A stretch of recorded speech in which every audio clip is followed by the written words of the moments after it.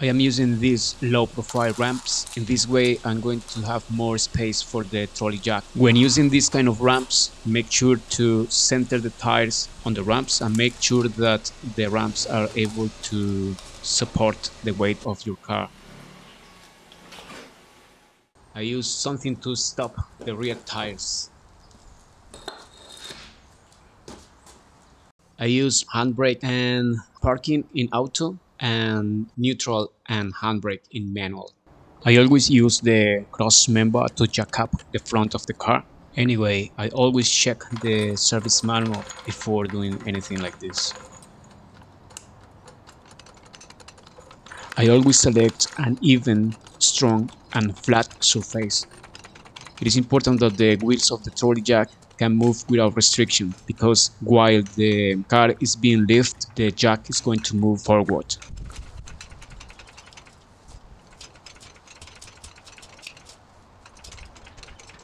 These are the lifting points of this particular car. Check always the user manual or the service manual or Google it, but be sure that you are using the correct lifting points Failing this will damage your car and it will be very expensive to fix it.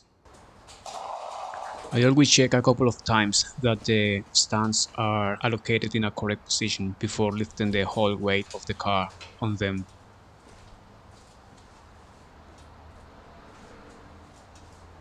Once the car is on the stands, shake the car to confirm that the car is supported properly.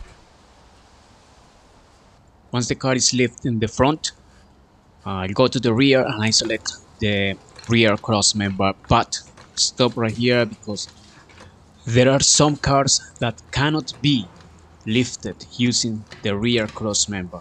They usually have a warning sign. They are usually small cars like the Suzuki Swift. And if you use the rear cross member to support the car it's gonna bend and you will damage the car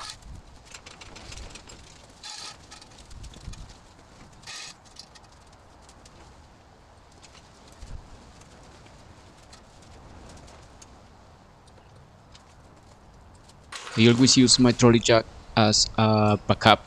I leave it hardly touching the cross member or one of the lifting points of the car. If I remove the tires, I always use the tires as well underneath the car. So this gives me time in case the jack stands fail. Once you have finished working the car, just start from the rear of the vehicle and then go for the front.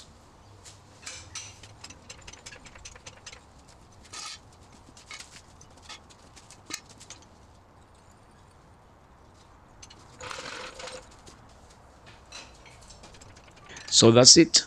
Uh, just remember that working underneath the car might be dangerous. If you don't take the time and you don't follow the safety precautions, you might damage the car, you might get an injury, or you might die.